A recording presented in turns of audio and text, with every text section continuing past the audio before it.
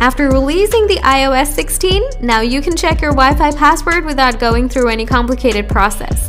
Now, if you find out the password of any connected Wi-Fi network, then here is how you can do this.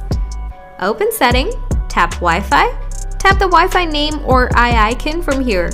Tap on the password section. Now this will reveal the password of that connected Wi-Fi network for your iPhone. So if you still have anything in your mind, please ask me in the comment section. I'll get back to you as fast as I can.